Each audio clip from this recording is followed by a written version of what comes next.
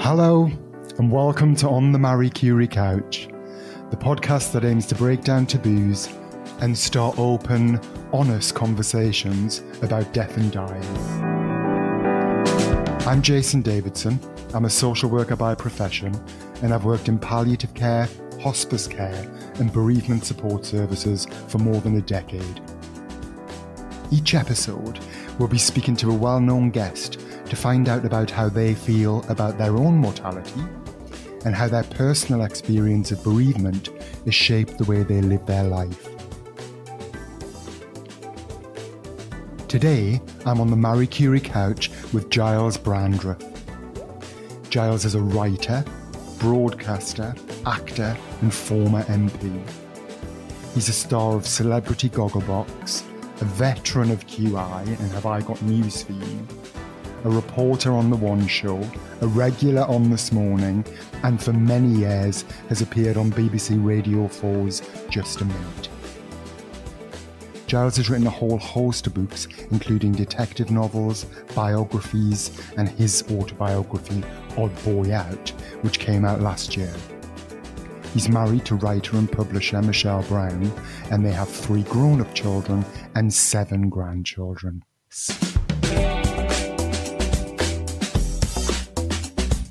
Gyles Brandreth, welcome to the Marie Curie couch. How are you? Oh, it's a couch, is it? Well, if you tell me it's a couch, I'm sitting comfortably. Then we can begin, Jason. Can I ask if you can tell me about a significant bereavement you've had in your life, Gyles? Yes. In fact, I can probably tell you about several. One of the reasons I'm doing this is I'm a great admirer of the work of Marie Curie and have been for a number of years because in my family there's been uh, quite a bit of cancer and I have lost family and friends to cancer over the years, and Marie Curie have played a part in those stories, always a positive one, which is why I'm here supporting mm. the cause. Um, to choose a significant death, my goodness. Well, in a sense, um, every every death is significant, and sometimes it's the unexpected deaths that turn out to be the most significant, or more significant than you might necessarily expect. Uh, I was thinking about that because I, I brought along today um, two poems to read to you. And um, I'll read one of them to you right now. I wasn't going to read it till we the end of our conversation, but I might read it to you right now because uh, it it isn't doesn't reflect the most significant death I've known, but it reflects one that um, affected me, or rather, the aftermath uh, affected me. Uh, I have two friends who live near me. One was the artist Jan Pieńkowski. You may remember him. He was a brilliant artist, and he created the drawings for Meg and Mog and Owl. Do you remember these children's illustrations, these children's books? I do. They were fantastic. And he uh, had a lifelong partner, also an artist and a ceramicist, called David Walser. And uh, Jan died at the beginning of this year, and I went to the funeral. Uh, and uh, um, Jan had been failing for, for some years. And these two guys were partners for a lifetime, for 60 years or more. Delightful, brilliant people. Anyway, uh, David at this uh, funeral read a poem that he had written that very week, inspired, in a sense, by the death of his best friend, his partner. And I found it very touching. And so uh, it, it, affected me. Uh, written literally in the week his lifelong partner, fellow artist Jan Pieńkowski, died back in February 2022. It goes like this Flowers come, they bloom and go. We loved them, and we miss them so. The same with friends. They come, they grow, and then, one day, they up and go.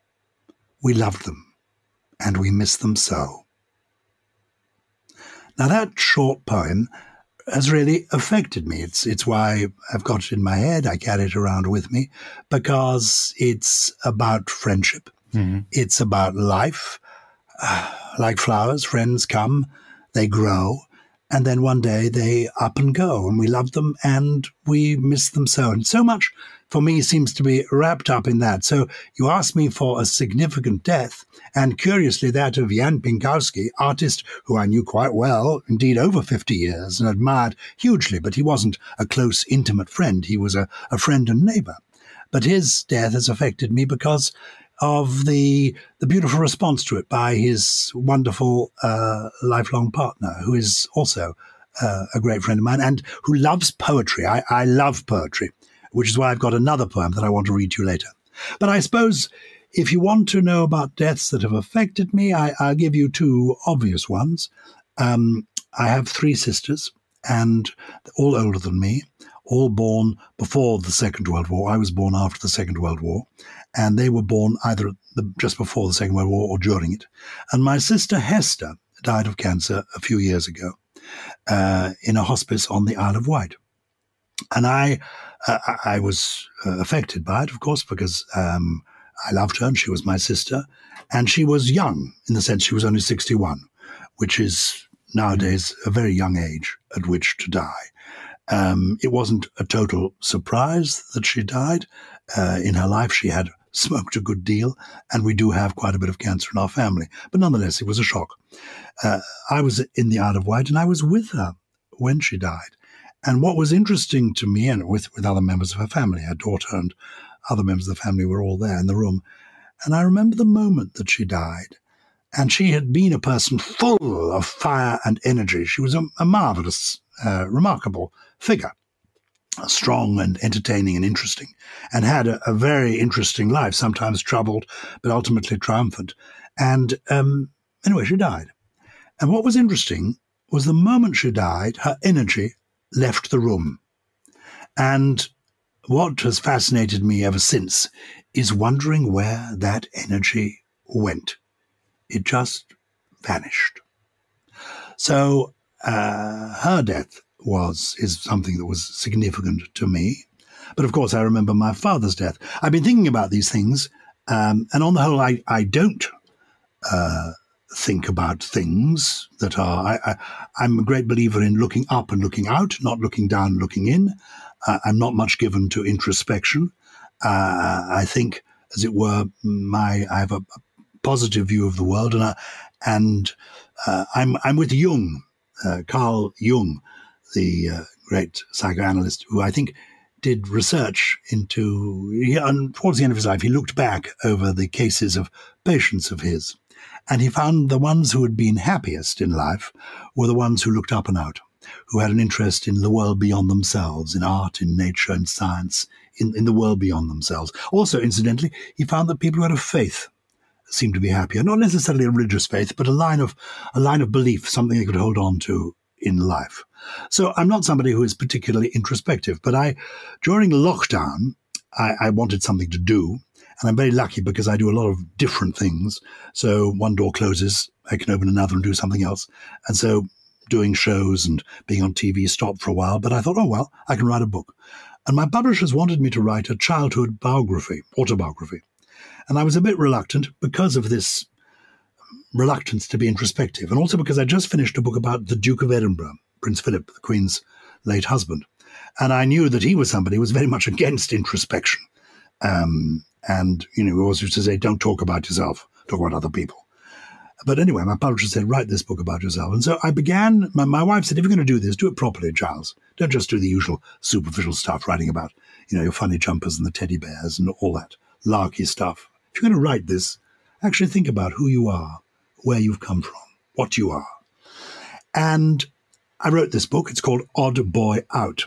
Though as I was writing it, I kept wishing it was called I Hope There Is a Heaven, because I, I do hope there is a heaven, because I would love, as it were, my, my mm. father, my sister, others who've gone before, uh, to know, A, how the story ended, and also to know how much uh, I appreciated and, and loved them.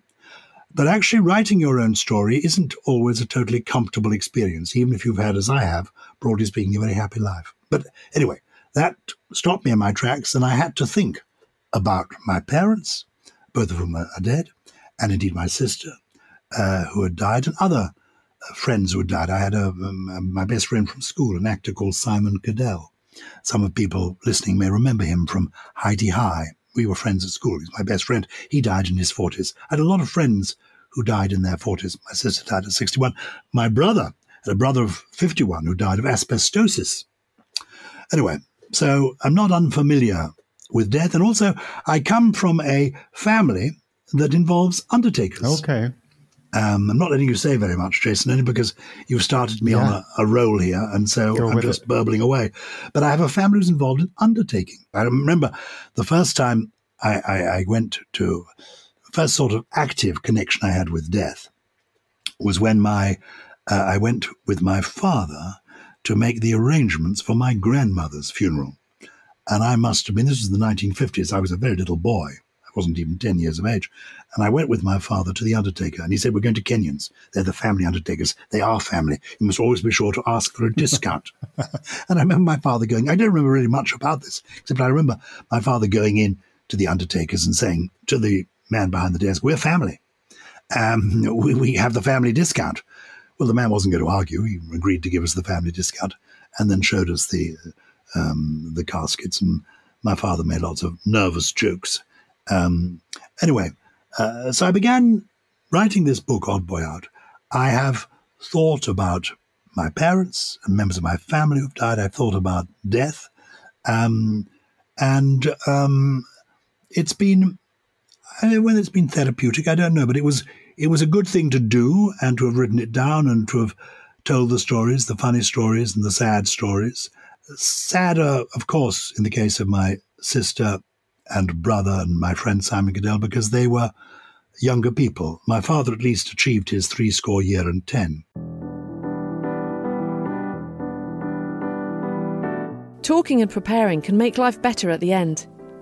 Find more inspiration, support, and tools including our conversation cards, to get you thinking and talking about the end of life at mariecurie.org.uk forward slash talkabout.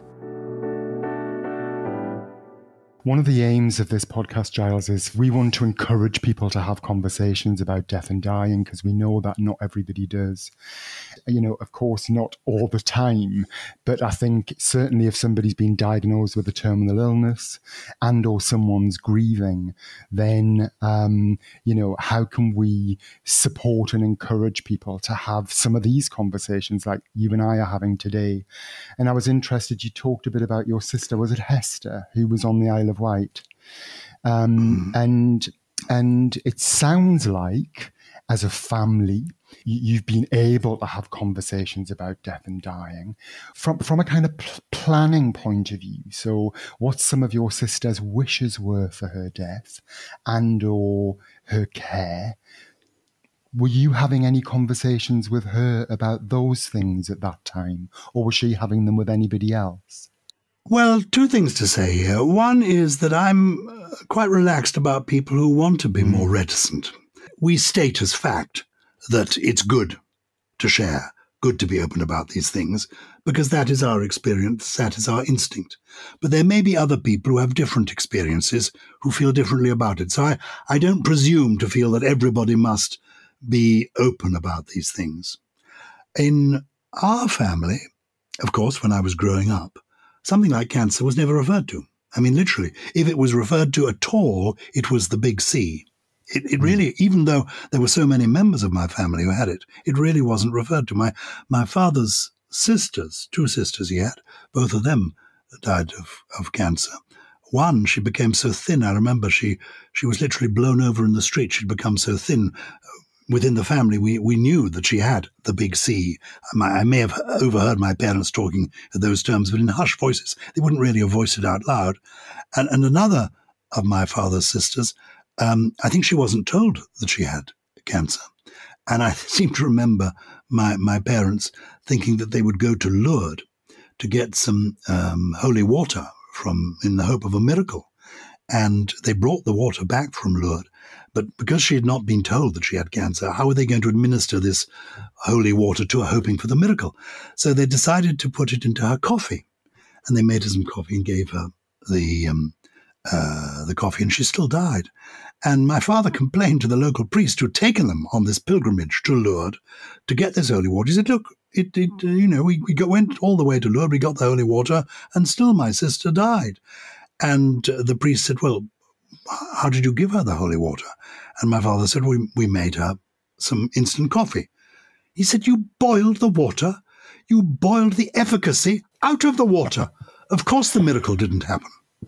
So um, we we we laughed. Perhaps that's a, a tasteless story, but it's a, it's a true story. But people of that generation didn't talk about it.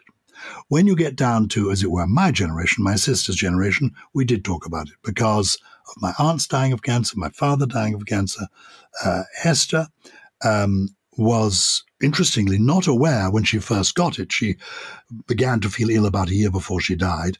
Um, and uh, then, as it were, she was overwhelmed at the end by it and went into the hospice uh, where she uh, she wanted to stay at home as long as she could and um, didn't go until pain was overwhelming her and she needed pain control to to help her.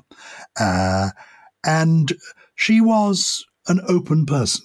So that was her approach to life would be to talk about things. She'd always been, uh, she was a, a bit of a campaigner. She was gay uh, at, at, a time when that was not, um, it was something you didn't necessarily talk about, you know, in the 1960s. Um, uh, and, you know, coming from a very straightforward middle class family, my father was a solicitor, my mother was a teacher, um, and they were very embracing of her, very loving of her. But she talked openly about that before it became fashionable.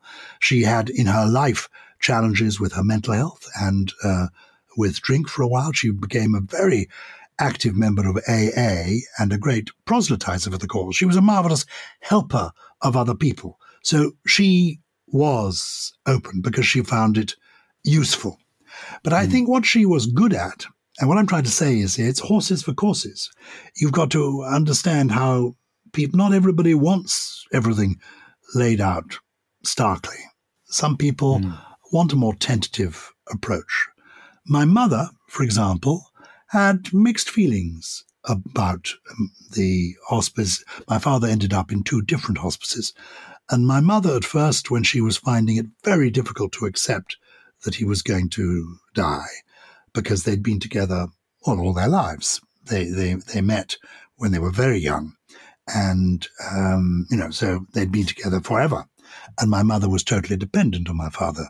She couldn't literally could not change television channels. And this was in the day you only had BBC One, BBC Two, and ITV. She couldn't go from BBC One to ITV without him changing the knob. She couldn't. She didn't. She didn't have a bank account herself. She was entirely dependent on him, and they were, as it were, inseparable. And she didn't want to accept that he was going to die. And I remember her saying when we came to the hospice on the first occasion, she said, There should be a sign above here that says, Abandon hope, all ye who enter here. That was before she understood what actually was happening in the hospice. And how indeed many people came out of the hospice and, as it were, came and went over a period of time where they were having their pain controlled. And it was a, a journey on which we all are going. And, and that's quite a difficult thing to accept. And she didn't want him to die. She didn't. She didn't. Well, I mean, I remember being it was in the Middlesex Hospital uh, in London. Doesn't exist anymore, but I, it's where all my children were born. It was a hospital we knew well. One of my sisters was a staff nurse there. In fact, I think a sister there. Um, and I remember my mother banging the desk in front of the consultant, saying, "You must stop this. He mustn't die. You must stop this." Uh, and she had to go through that phase um, of coming to accept the inevitable. And it's a it's a journey for us all. And it was interesting for her because she was a person for whom her faith was everything. And so there are no easy, glib answers no, to no. any of this. And so everybody will discover their own journey. Recently, I give you a marvelous example of somebody I think. Um, I mean, I've known a number of people my friend Simon Cadell, the actor, was one, and here's another actor I'm going to mention now called Peter Bowles, who died very recently, He was a friend and neighbor of mine. People remember him from television series like To the Manor Born, uh, Rumpole of the Bailey, um, uh, The Irish RM. Great actor, a great stage actor as well, and a very amusing man.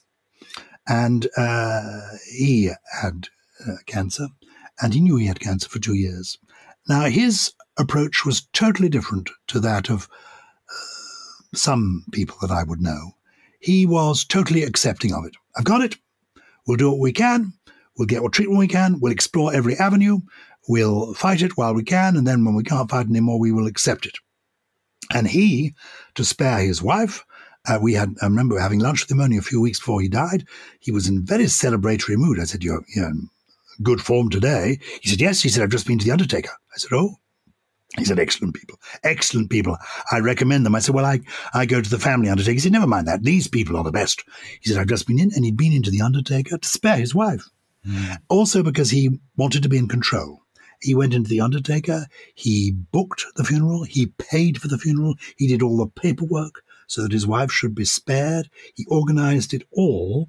And at the end, we came and had this celebratory lunch. And by then, the cocktail of drugs he was on meant he couldn't really taste food very much.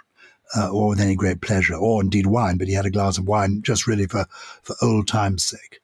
Um, and he felt he'd done the right thing. And indeed, he had done the right thing because we went to the funeral and it was beautifully organized. So uh, afterwards, we did raise a glass to him.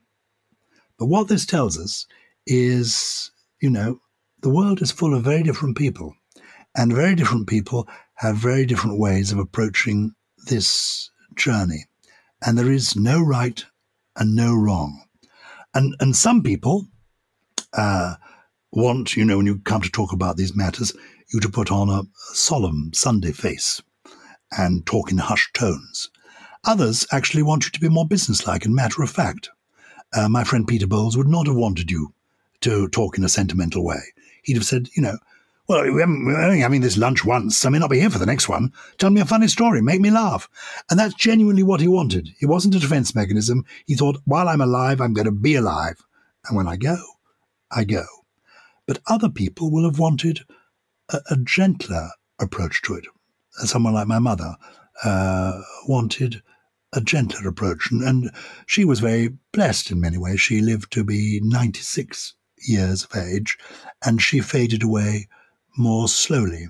Um, and it was, her death was um, more, more peaceful and more beautiful in the sense that uh, she had been brought up in India, my mother, and her father was a soldier in the British Indian Army, and her mother was a missionary in India and she was brought up in India. In fact, it's the part of India she was brought up in is now Pakistan. She was born somewhere called Rawalpindi, which is right in the north mm of the Indian subcontinent, almost you know, almost up in Af- Afghanistan. But uh, she left when she was 19 or 20, came to London where she met my father, and then went back on holiday. But she never returned to live in India. But she never left India. And when she died, the hospital she died in in southwest London, there happened to be an Indian porter who was wheeling her from the public ward to the private ward because they knew that the end was coming and they put her in a private ward. And he was wearing a turban. And she was delighted to see uh, that. And she spoke to him in Hindi. Um, and it was very lovely for her, in a sense, at the end of her life, to go back to her childhood mm-hmm. with, with somebody who was Indian. And there they could, as it were, they held hands and they chatted away in, in Hindi, which was fantastic. So each to her or his own. I have no prescriptions to offer, um, but I have this to say, actually. I've known, I mean, you get to my age, anyone listening to this who is my age, I was born in 1948. Um, uh, you will, you know, uh, we always joke when we go to the funeral, it's hardly worth going home, is it? I mean, I, I will go to a funeral or memorial service literally sometimes once a week. And because I've reached the age where my contemporaries are beginning to go, and certainly all my parents' contemporaries have gone or are going, even if I'm lucky enough to know, and I do know some very lively living people in their, their 90s. had a friend the other day who died aged 102. She was fantastic. Anyway, the lines by Dylan Thomas uh, do not go gentle into that good night. Rage, rage, against the dying of the light, are wonderfully theatrical and melodramatic, and written by a person who, at the time he wrote them, was full of energy and life. My experience of people when they are dying is that mostly they are accepting of it. I'm, I'm talking now of people who have lived a full life. I'm not talking about children, but I am talking about people who may be, my, for example, my friend uh, Simon Cadell, the actor, was 47 when he died. He was very accepting of it. I knew an actress called Linda Bellingham. You may remember her. She's the Oxo mum on TV. Uh, lovely lady, so funny. But I remember her calling me on the telephone, oh, a few days before she died, saying it's fine. I'm all right. It's absolutely fine. Really is. What I'm worried about, and then she mentioned her then boyfriend and her sons. She was worried about various things, but she was getting those sorted. Um, but she said, I'm fine. And in my experience, which is sadly not unextensive, um, people are very good at the end, very impressive. And actually, it's encouraging, since this is the journey we are all making. Can I ask, do you think about your own death?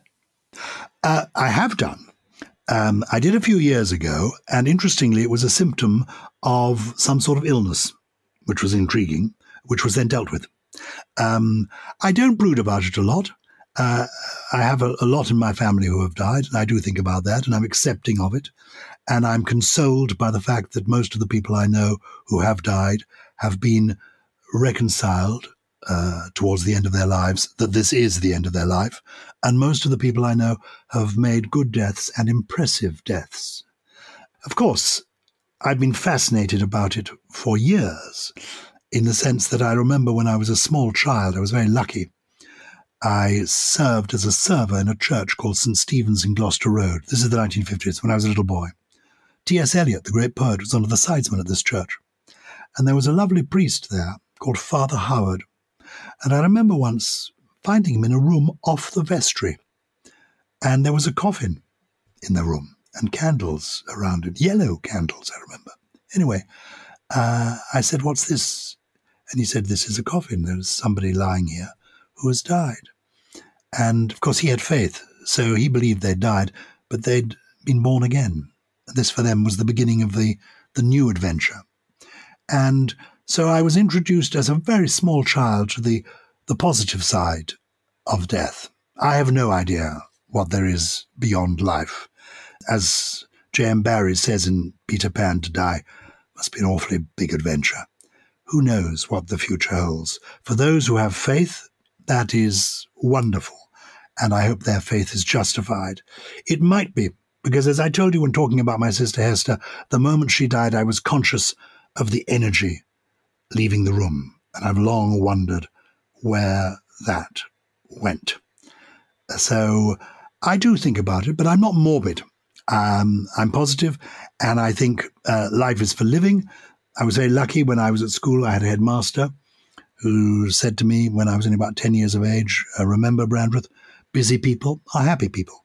And I've remembered that. And so I keep myself busy. I'm out and about. I, I visit people, if I can, who are, are, not well and who may be dying. I don't chat to them particularly about death. I don't, uh, if they want to, I'm ready to talk about it. But I'm not one, I'm really not one for saying we must talk about this mm. in a sort of mm. serious way. If you want to talk about it, of course, let's talk about it.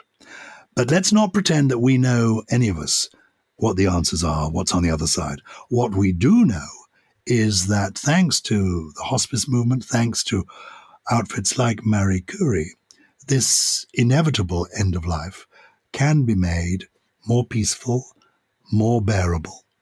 And therefore, the acceptance that, in my experience, comes to almost everybody who lives a foolish life i.e., who grows to adulthood, it helps them. So it, it, it's a good thing. So death is part of life. There's nothing much you can do about that. Absolutely. But, you know, like you can't spend all your life thinking about a holiday. You can't spend all your life thinking about a great meal or a concert. Life is ups and downs. So don't spend all your time thinking about death. Of course, it is a preoccupation. But uh, can I tell you, I, I was saying this the other day to one of my nieces because her mother was very ill. And we, we'd been at the bedside for a while. And I said, come on, let's go and let's go and have a coffee. And then got to the street and said, actually, let's go and have a drink and toast your mum. Um, let, let, let's do that. Uh, because these are sad times, um, but you can be cheerful even in sad times. That's, in a sense, what my poem that I'm going to read you is all about. This is a poem uh, by somebody called Derek Mann. And among the books that I, have written, and I mean, I'm, I'm in the happiness business. I wrote a book called The Seven Secrets of Happiness. But I also did an anthology of poetry called Dancing by the Light of the Moon. And this is poetry to learn by heart. And one of the things that my friend David Walser told me, he's the person who lost his lifelong partner, Jan Pieńkowski, who and wrote the poem that I read to you right at the beginning of our conversation. He has found my book, Dancing by the of the Moon, very helpful because he's been trying to learn some poetry by heart, both to, to distract himself really intelligently. Because, of course, it's bleak. You lose a lifelong partner. There's no denying it. Mm. It's bleak. You are alone. You've got a lot to be grateful for, but you are alone. You need company. And you, yes, you need family, you need friends. If you've got a pet, aren't you lucky? You've got your dog, your cat, your tortoise, that's marvelous. But you need company and you need your own company and you need to do something with your head. Uh, and he has found learning poetry by heart is good. It is literally good for you. It helps keep things like dementia at bay, keeps the synapses supple. And you can go back to childhood poetry like The Owl and the Pussycat. You know, relearn that. It's fun. Or learn new poems. And during lockdown, I did, oh, every day during lockdown, I did about 150 short poems every day. And one of the most popular was this poem by a man called Derek Mahon, an Irish poet born in 1941. He died, in fact, I think during lockdown, not of COVID, but he, he did die recently. It's called Everything is Going to Be All Right. How should I not be glad to contemplate the clouds clearing beyond the dormer window? and a high tide reflected on the ceiling. There will be dying, there will be dying, but there is no need to go into that. The poems flow from behind the hand unbidden, and the hidden source is the watchful heart. The sun rises in spite of everything, and the far cities are beautiful and bright. I lie here in a riot of sunlight, watching the day break and the clouds flying. Everything is going to be all right.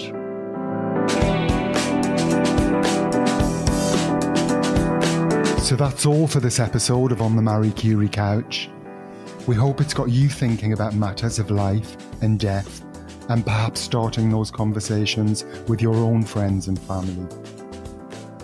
Marie Curie's here to help, from planning ahead to coping with bereavement you can talk through any concerns you have around the end of life with our support line team, which also includes specially trained nurses. Call us on 0800 080 2309 or search Marie Curie online. This podcast is produced and edited by Marie Curie with support from Ultimate Sound and Vision and the music featured is Time Lapse by Pan Oceanic. If you've enjoyed this podcast, please do like and subscribe. Thanks for listening, and until next time, goodbye.